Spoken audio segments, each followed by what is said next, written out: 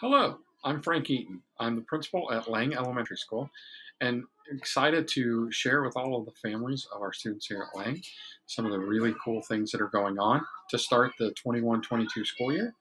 Uh, first, I'd like just to welcome everybody back to a little more normal school year. Uh, it's really nice that we have our students all day this year when we had to stay in a half day model uh, last year. Uh, we're able to do lunch again and some of the other things. Obviously, there are quite a few precautions and uh, protocols that we have to uh, to still engage in and, and make sure that we are keeping our students and our staff as safe as possible. Um, but uh, it's been a great start to the school year. So the rest of this video uh, is going to be a welcome from your child's uh, specific teacher. Uh, and then after that, each of our teachers here at Lang have created a video uh, to talk about something specific, uh, a different piece of curriculum or whatnot. Um, and uh, it will inform you just as, as far as uh, a lot of the different things that we're doing here at Lang. So once again, welcome to our, our kindergartners for 2122. excited to have this group. it's been fun already and look forward to the rest of the school year. Thank you. My name is Jane Lynch, and I'm your child's kindergarten teacher. Tonight, I'm going to give you a little bit of background about myself and some information that pertains to our classroom in particular. And then feel free to click on the link so you can learn more about the kindergarten curriculum. As you know, um, my name is Jane Lynch, and I have um, my bachelor's degree is from the University of Dayton in both elementary education with kindergarten as well as special education. I also have my master's degree from the University of Dayton in early childhood transdisciplinary. My husband and I live in Oakwood with our four children, all who of which who go to Oakwood High School. I have a senior, twins who are sophomores, and a freshman this year. Our class has been busy, working hard, making new friends, working on language arts and math, practicing our fine motor skills, practicing our independent skills, learning how to be responsible for ourselves and our things. And it's been a great start to a school year. I wanted to touch base a little bit on independence and responsibility. Um, that's something we really work hard on at kindergarten. And things we do um, are cleaning up after ourselves, putting things in our mailboxes, as well as taking our folder and putting it in our backpack and putting our lunch boxes in our backpacks. All those kinds of things that help develop your child's independence. Things you can do to help your child are making sure everything they bring to school that they can take off, such as backpacks, lunchboxes, water bottles, coats, jackets, sweatshirts, sweaters, all those things. Make sure you're labeling them with their names. We have plenty of um, duplicates of different uh, things that children bring to school, and it's super helpful when they um, their name is on things. Also, working with your child on zipping coats and tying shoes and putting folders into backpacks, making sure you can get your folder and your lunchbox into your backpack opening containers at lunch, all those kinds of things are great ways to practice being independent at school. And of course, we're here to help, but part of your child's development is developing some of those independent skills, which is so exciting to watch. We're also working on being responsible by cleaning up after ourselves and being responsible by being good friends to our friends. So, those are all things you can continue to encourage at home. I wanted to show you a couple of things um, that that your child will be bringing home. In the next couple of or in the next week a couple of weeks we're going to be starting our star student program. And your child will bring home a paper along with a um, bag attached to it. When it's your child's turn you'll get you'll get a couple of days notice. And in there you will um, there's a letter that tells you all the things you need to send in such as pictures of um, of your child and their family, and there's a surprise bag where you put something in the bag and then you write three clues and help your child practice reading the clues at home so that we can try to guess what is in the surprise bag. And then there's a little chart for your child to fill out so we can get to know your children a little bit better.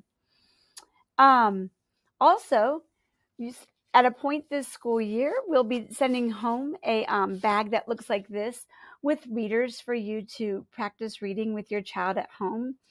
Please be sure to spend some time letting them read to you, or you read to them, or reading together. Um, those readers, that would be that's a great way for them to show off what they've been doing at school. Sometimes your child will bring home other books that look like this that they have worked on, like maybe they've highlighted words or colored pictures. Those are for you to keep at home. So if it doesn't come home in this bag, then you can keep these at home. I do recommend putting them all in one place so your child can continue practicing reading those books and being a more confident reader um, throughout the year.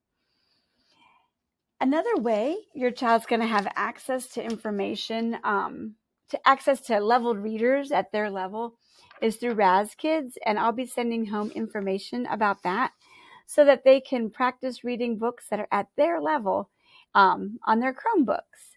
As you know, your Chromebooks have come home.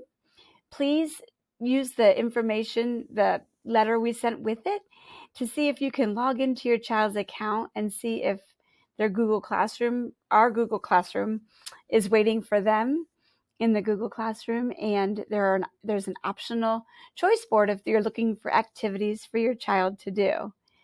Also, be sure to sign up for your parent conference on the Sign Up Genius link that was sent home in a Friday message. Speaking of Friday messages, every Friday your message comes home um, via our message system. If you've not received any of these messages yet, please reach out to my to me so that I can figure out um, what we need to do to make sure that you are added. It was something you, when you signed up in your final forms that you had selected. So I'm sure we can figure out if you're not getting them, how we can get them to you. I hope, um, I hope you have a great evening and enjoy all the great information you're going to be getting throughout the evening. And as always, if you have any questions or concerns, please reach out uh, to me at Lang School and have a great evening. Thank you. Hi, Lang families. Um, my name is Erin Bourne, and I am a kindergarten teacher here at Lang.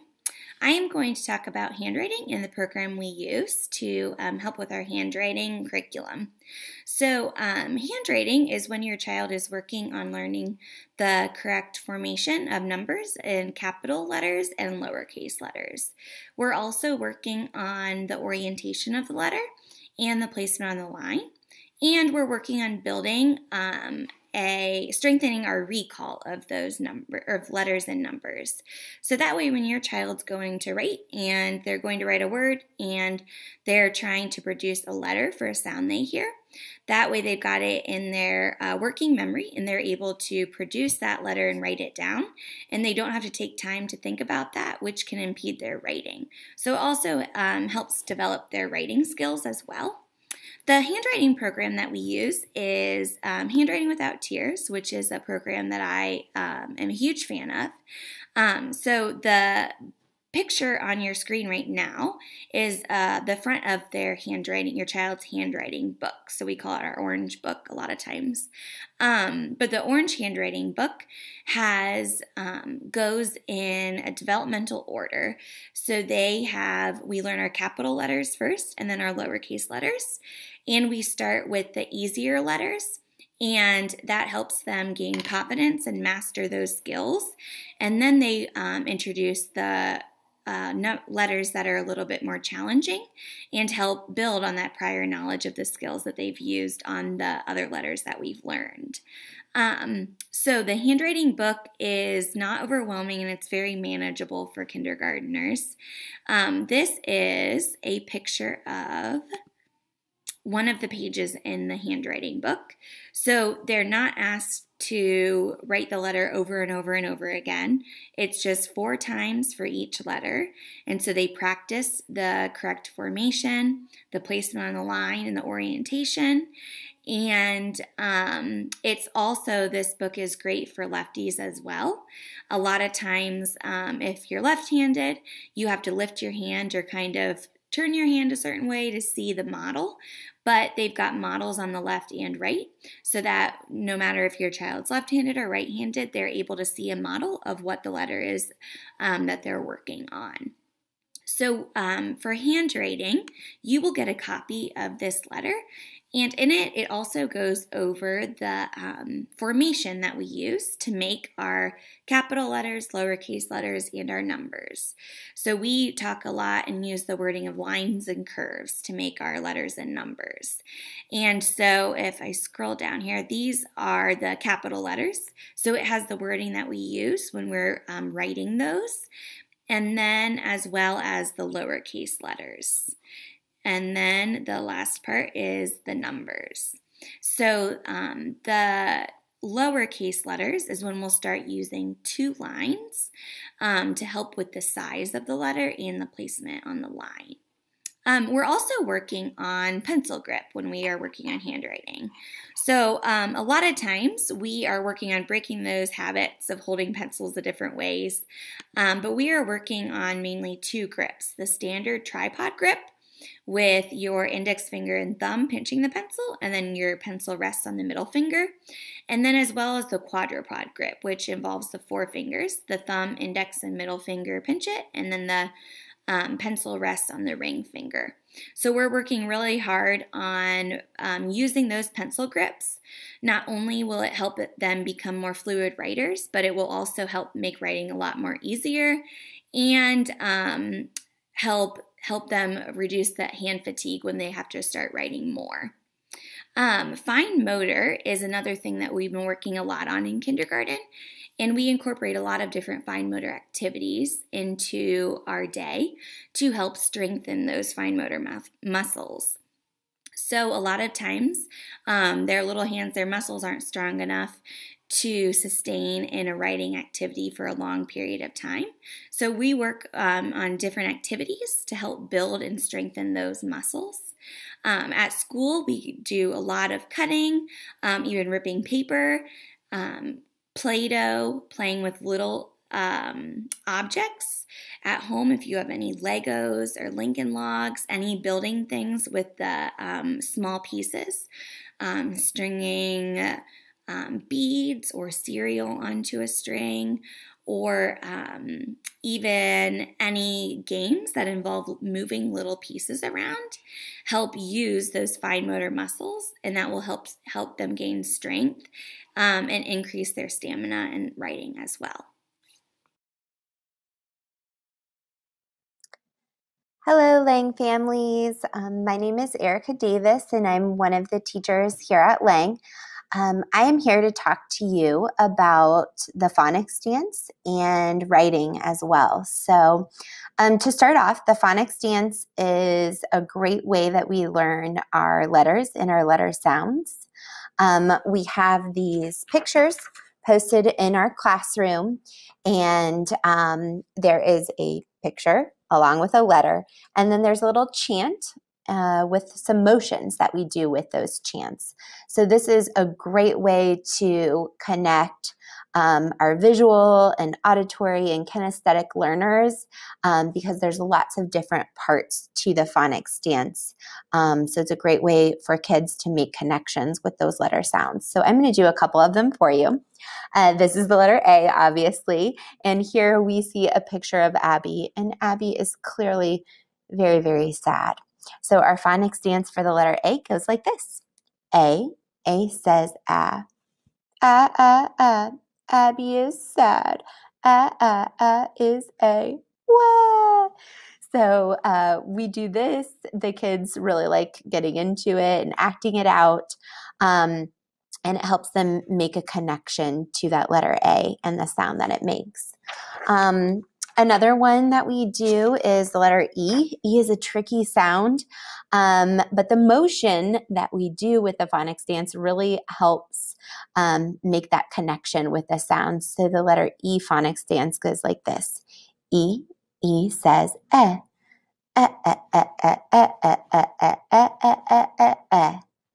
Eddie loves his teddy and Eddie loves E. We make a little heart. So it's kind of like a choo choo motion um, but since E is tricky, sometimes when kids can't remember what uh, the letter E sound is, I just do this motion and that clicks in their brain. Oh, yeah, I remember this as the S sound. So a lot of them do make really great connections with emotions and with the sounds. So um, the phonics dance is a great resource. Um, most of you should have the little phonics dance book that they brought home. It's like a little half book. Um, they colored in the pictures. Um, we did these as we learned the different sounds. And it's a great resource if you haven't pitched it. It's a great resource um, for you to just go through the book and have your child practice those letter sounds. Um, and if they like to perform, to do the little chants that go along with them. Uh, when it comes to writing, of course, knowing our sounds and what the letters look like is super important. So, um, a lot of the classes have a little phonics dance name tag. You could really have any um, alphabet in front of you is a great resource to use when you're just starting to teach writing. Um, so, we've had a focus on listening for the beginning sounds and words right now. So we've done a lot of listening for initial sounds, um, labeling pictures. So um, let's say a child wants to draw a picture of a dog. So listening for that first sound, d, d. Now, let's say they can hear the first sound and identify the d sound, but they forget, oh, I know D says D, but I don't remember what it looks like. So using an alphabet to go through, most of the kids come knowing how to say their ABCs. So we talk a lot about finding a letter using our ABC song and using one to one correspondence with our finger. So if I know D, D says D, but I'm not sure what it looks like, I can sing my alphabet. A, B, C, D. I found the D here. Um, so they could write down the letter using an alphabet resource. So we start with writing very simply, listening for the sounds and words. If they are ready, they might be ready to write the initial and the final sound. So if we're still working on that word dog, um, we would break out the sound d, og. And if they hear the d and the g at the end, that's an awesome thing. The vowel sounds typically come a little bit later, but of course, eventually we want them to be writing all of those sounds that they hear. We've also um, started talking about the difference between letters, how we use letters to then build words, and how those words are eventually used to build sentences. So we're introducing the difference um, between all of those things, and we are going to be starting to write sentences more and more. So, um, one way that we kind of show what a complete thought is is uh, if we say, I see a, and the kids look and say, well, that doesn't really make any sense. So we say, that's not a complete thought. That would not be a sentence. But we have, I see a cat. Now you go, oh, okay, I know what that means. That's a complete thought. That is a sentence. So we're starting to write sentences. We start introducing um, that there have to be spaces between words. Um, as we introduce new sight words and things like that, those are added to our word wall, and kids are encouraged to use the resources around the room to help them write down their sounds um, one of the most important things that we want to tell parents is that um, kids learn to write through inventive spelling. And what that means is that um, we don't just tell children how to spell words. We want them to do their best to try to break out sounds and words and write down any sounds we know. So, if you are ever writing at home with your child, if you want them to um, start a journal or uh, write a card to somebody, really encourage your child to write down the sounds that they know. So, it's not going to be perfect. Not everything is going to be spelled correctly, but you want to encourage them um, and you can help them even to break out sounds in words. Um, so if they want to write happy birthday, you could help them with happy, h, ap, e. What sound do you hear first? Um, you can have an alphabet in front of them so they can use that as a resource um, if they're not sure what those letters look like yet to write them down. Um, but we want to encourage parents to try not to just tell children how to spell words. So we really um, want to see them try their best and that's how they gain confidence too so um, if you ever have any questions about the phonics dance or the writing process please reach out to your teacher. Uh, I know writing is one of my favorite things in kindergarten because it's fun to try to decipher um, what they're writing, what they're trying to say. So um, I'm sure you will be uh, getting plenty of laughs when the kids uh, start bringing home their writing. I hope you all have a great day, and I know that all the classrooms are off to a great start in kindergarten. So thanks for all your support. Hello, my name is Mrs. Morrissey, and I am our intervention specialist here at Lang and our reading lab teacher. So I work with various students on reading, and I'm here to talk to you about guided reading today. Um, guided reading is an instructional approach where teachers work with students in small groups um, for reading. Uh, we work at their own individual level. So we have create, completed assessments where the student um, is leveled and they may be at the beginning of a kindergarten level, uh, middle, end of kindergarten, or even beyond. And we use these readers to complete small group instruction with the students. So I'm going to talk a little bit about the different levels. This is a level, this is a level A book. And the level A books are very repetitive. This is called My Bedroom. So we're working on the sight word my in this book and the sight word look. So the text may say, Look at my bed. And you're going to keep going. Look at my bookshelf. Look at my books. This is where we get maybe a little trickier. Look at my, we're wanting them to um, remember the repetition in the book for look at my. And when we get to this last word, we're looking at the picture to see, someone might look in there and say toys, clothes, but this starts with cl. So we're wanting them to say closet. So if a child is having trouble, we will prompt them to look at the picture and the beginning sound. Same thing here. Look at my toys. Someone might say, look at my dolphin, look at my bear, look at my car. But we want them to look at the beginning sound of the word and see what makes sense based on the beginning sound. This is a level A text. So an important thing in level A text is pointing to the text because most kids can remember that pattern and just say, Look at my bed. Look at my toys. Look at my closet. Look at my. But we want them to look at each word. Look at my toys. So first we, we do the reading of the text. We reread it several times.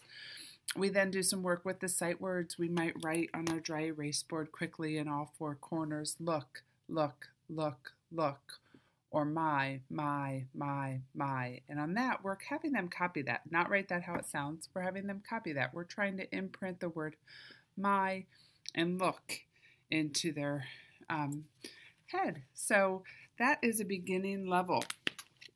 Here we have a level D text.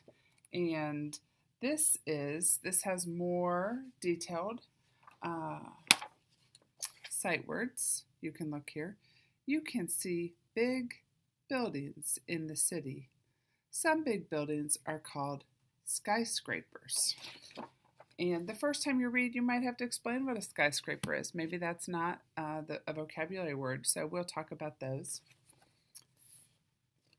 You can see parks in the city.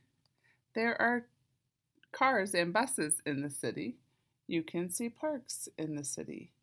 There are trees in the parks. So again, um, on a level D, most kids already know the word you and can and see. We've covered those earlier.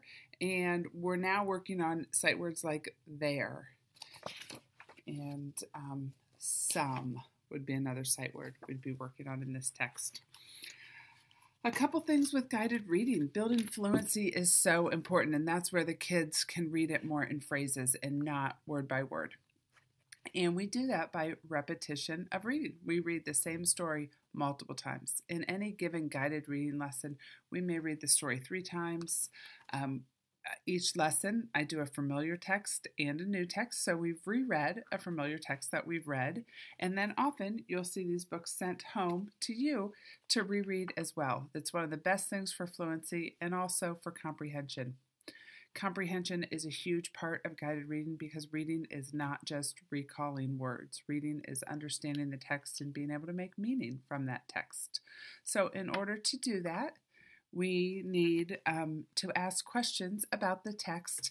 We have the literal, the texts that have to do with the questions that have to do with the story, and then we have the um, beyond text questions where maybe we're comparing two stories or maybe we're asking them to infer what do you think um, why do you think they did this you know how does this compare to another story we've read um, questions uh, like that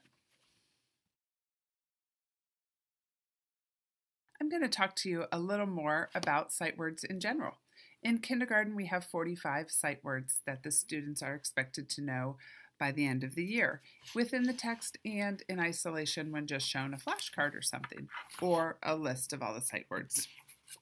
Um, we kind of break the sight words down by month. And so some of the sight words we've worked a lot on. The first two we work on are A and I. They're a letter, but they're also a sight word. Um, we work on me, see, the, like, and and very early in the school year. So you may have seen a lot of books coming home with the word see in it. Again, those books are in the text. We do lots of repetition of that. Um, we also add them to our word wall.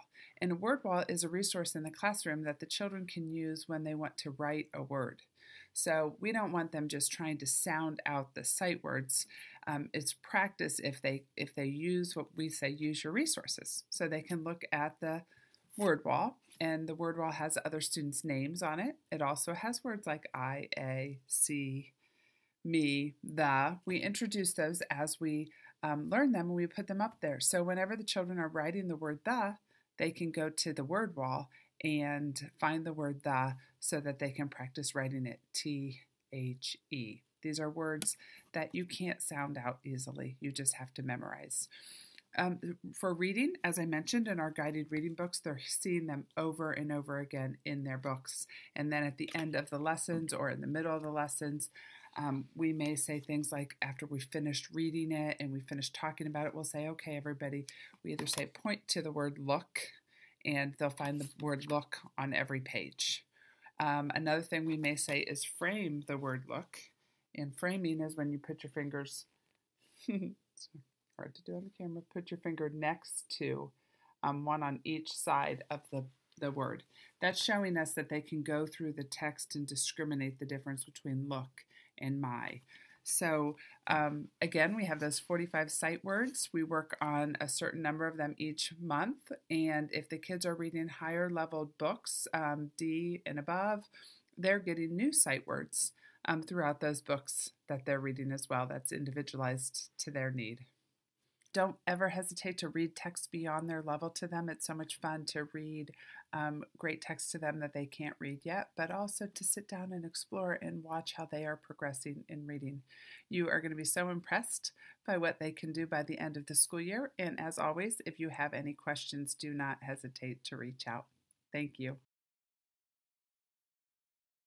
Hi, parents and families. Uh, my name is Lauren Qualls, and I am a kindergarten teacher here at Lang. And I am excited to talk to you about one of our areas of curriculum called Heggerty. And this is a phon- phonemic awareness curriculum that we practice daily in the classroom. So I'll tell you just a little bit about the overview of Heggerty. Like I said, it is a daily practice and it does not have a written component. So it's something that is all done through spoken word um, and it's designed to improve our students' reading, spelling, and writing skills so that as the students are learning to hear specific sounds in words. Uh, my experience, I've used this program for several years and I am definitely thrilled with the progress that it has helped my students make. Um, so it's definitely a worthwhile practice. And the great benefit is that it is also only a 10 to 12 minute part of our day, um, sometimes even shorter than that. So it is a very short part of our day that packs a huge punch into students' uh, language development. Their participation in this program is super important because as students are learning how to manipulate sounds and um, use them in their writing and reading, it's extra important that they are participating so that they can hear um, and notice the changes in those sounds. So I'll tell you a little bit more about what it looks and sounds like. There are 10 areas that we work on each day in that short time. Uh, so eight phonemic awareness activities that I'll chat about in just a second. And then daily letter or sound practice. So we're doing flashcards with uh, letters and sounds. And there's also some sort of word or sentence, some sort of language um, activity that improves their language awareness. So oftentimes towards the end of the year, that looks like a, day, a weekly nursery rhyme. Uh, that they're practicing. So, phonemic awareness activities include rhyming, um, identifying the parts of sounds in a word, changing or deleting parts, and blending as well. So, I'll go through each of those little points and talk about an example so that you can kind of see what it sounds like in our classrooms as we're practicing phonemic awareness. So, the rhyming we have in a couple different stages. At the beginning, we talk about what rhyming words are and we provide some concrete examples. So, students are repeating words like dog, log, or frog, or I guess that rhymes too, frog, log. Um, so those are just some ways that we provide them with concrete examples of things that do rhyme. So once that skill is kind of covered, then we talk about is it a rhyming pair or is it not a rhyming pair? So I'll tell our students, give me a thumbs up if it rhymes, a thumbs down if it does not, and I'll say a word you, we. Do those two rhyme? They don't, so we give a thumbs down. And then I'll provide another word pair, bag, tag. Those ones rhyme, so we give a thumbs up. So that's how we begin rhyming and transition to a different and more difficult part of rhyming. And finally, we do rhyming words where we provide one word and the children have to give us words that rhyme with that example word. So if I gave the word frog, then they would give me dog, log, bog, all those different words that rhyme with frog. So after we do that rhyming practice, we'll move on to identifying parts of a word. So at the beginning of the year, we're getting children to recognize the first sound of a word. So if I say the word mouse, they would say mouse.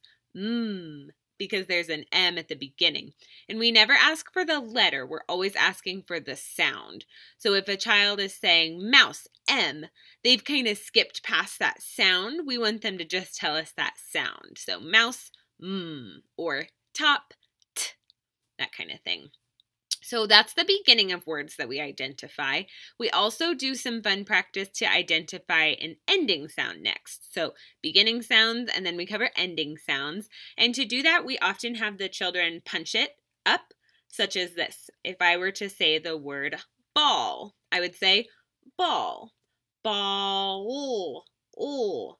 And I'm looking for that ending sound of the word when I punch it up. We also talk about the middle sound of a word, and that middle sound we like to I like to do a little roller coaster with. So with the word top, I would go t, ah. So students are able to isolate each of the sounds in a word. So we make it fun and it keeps children engaged um, so that we can get that great language awareness practice in. Um, we also practice adding and deleting and changing parts of a word. So at the beginning of the year, this looks like taking apart compound words, such as the word snowman. If I say snowman, take away snow, what part of the word is left? Man.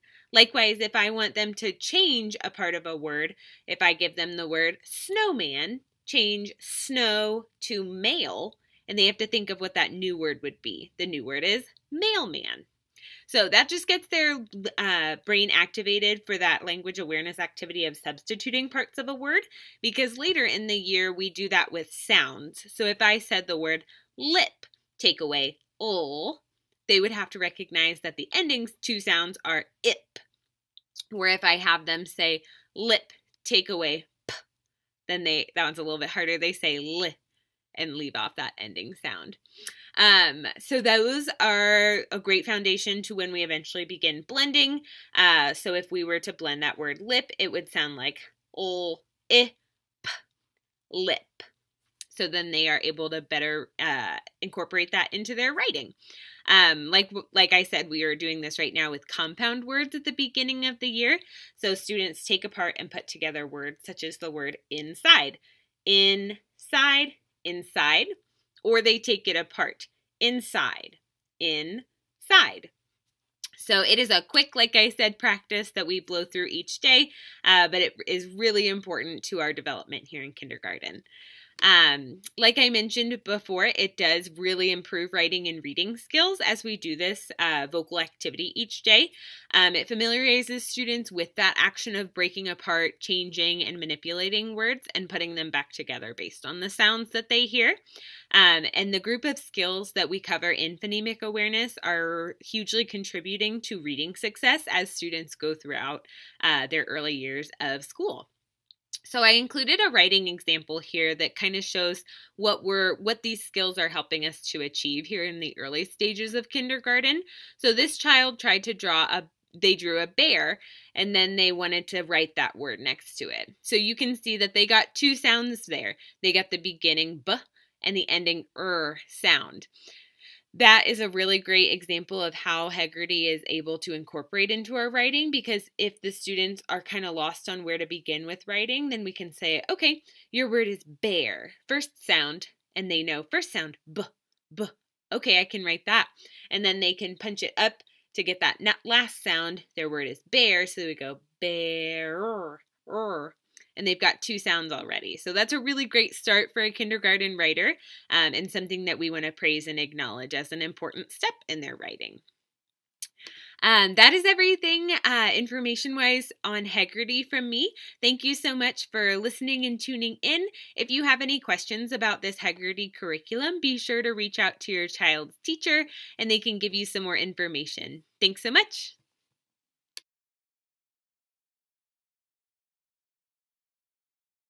My name is Jane Lynch, and I'm one of the kindergarten teachers at Lang School. This evening, I'm going to talk with you about math and math in kindergarten. I'm excited to get to talk about this. Math has always been my very favorite subject, so it's exciting I get to talk to you about it. In kindergarten and math, we cover many different strands of mathematics, and we will be counting uh, by ones and by tens to 100. We'll be looking at sets of objects and comparing them using vocabulary, vocabulary such as more, less, greater than, less than, least, the same, equal to, all those different kinds of vocabulary words. We'll be working on reading as well as writing numbers from 0 to 20. And we'll also be working on starting at different numbers besides 1 to count. So maybe you know, they might have to start at three and count to 10 or start at seven and count to 30. So with that showing the children that you don't always have to start at one to count. You can start anywhere in numbers and, and you can continue to count. We'll be working on the operations of addition and subtraction. We'll talk about the concept of addition and subtraction. We're adding, we're putting things together, and subtracting, we're taking things apart or taking things away. We'll be providing lots of tools um, to help your children with this, such as manipulatives, you know, like manipulatives like chips or things to help them add things together and take things apart, using our number lines, using the hundreds grid, um, drawing pictures, making tallies, learning how to count on, all those different things to help with addition and subtraction. We'll be learning ways to make 10 where we know this is a tens frame. And so anytime this is filled up, it's 10. So we'll talk a lot about how, okay, well, if there are seven right here and we put three more in, then we have it filled. So now we know seven plus three more is the same as 10 or is equal to 10. Um, we also will be playing lots of dice game. Dice are a great way to be automatic with your um, with numbers and with adding numbers together. And so we play lots and lots of dice game. One more area of operate, one more part of operations that we work on is being able to fluently add within five. So being able to look and say one plus three is the same as four is equal to four. or four take away one is three, where it's automatic for them. They don't need the tools to just know that. So we'll do a lot of practice with that.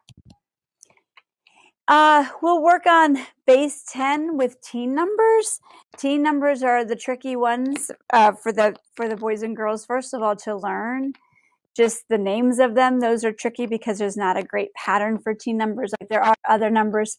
However, we'll also talk about how teen numbers are a group of 10 plus ones. So one group of 10 plus some ones is to make different teen numbers. And this is a great way to introduce our place value system.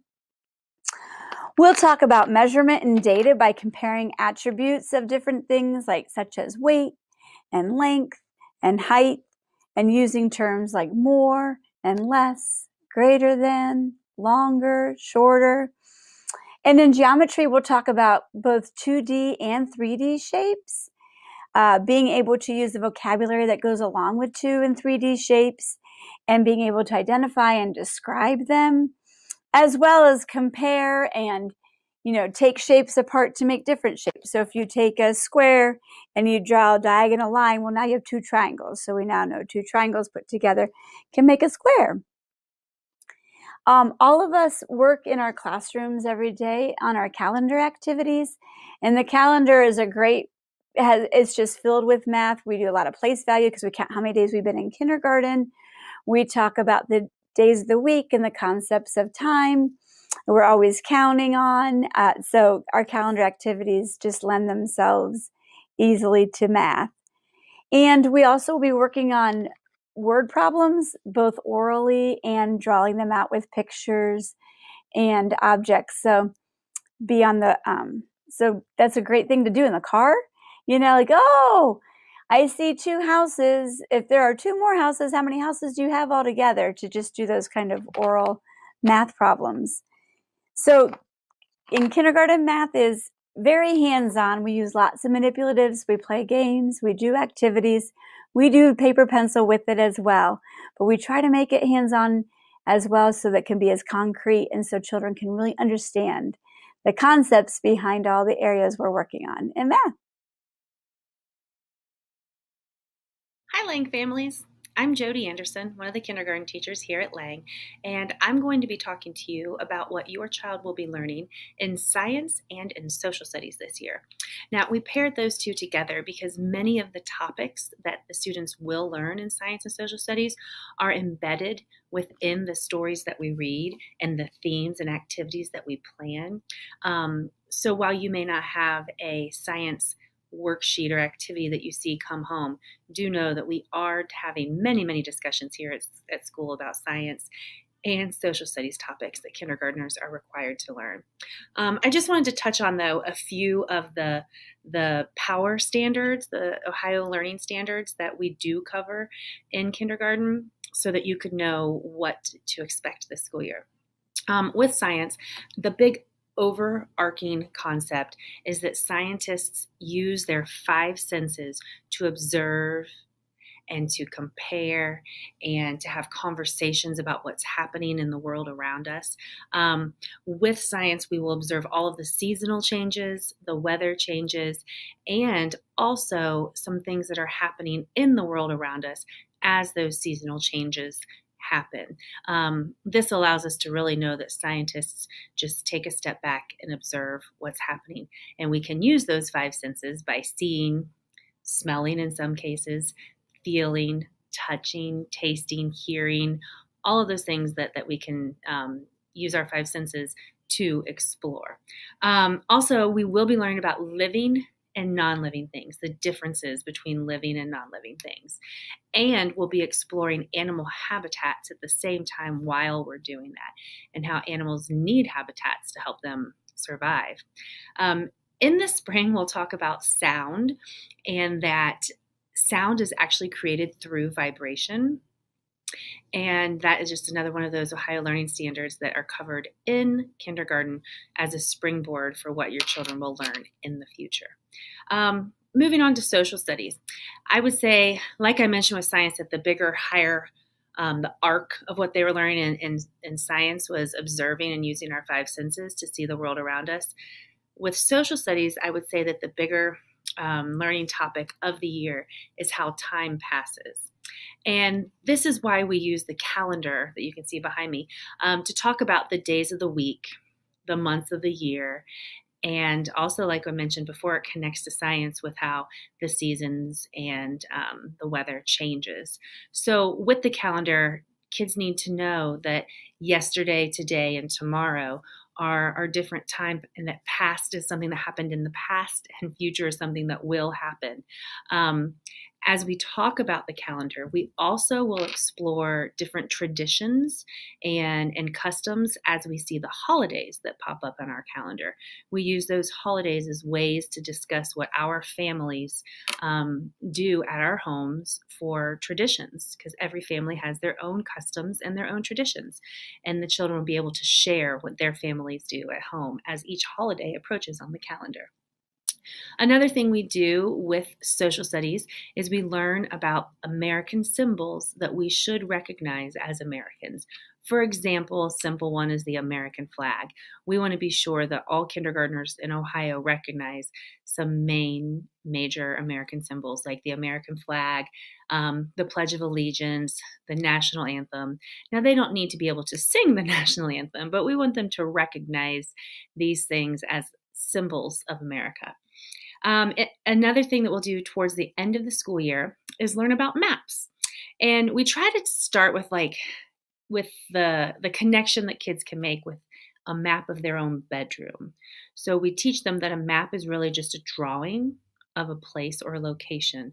And and by starting out with something that makes sense to them, we then can go a little bit larger and dig a little deeper um, with showing them the map of the United States and and doing some enrichment with some things that that some kids may not be ready to learn but while others are ready to learn it's fun to look at that map of the united states and try to find states that you might recognize um, one other thing that happens in social studies but again it happens throughout the school year in our discussions is where we just talk about social interactions and appropriate social interactions.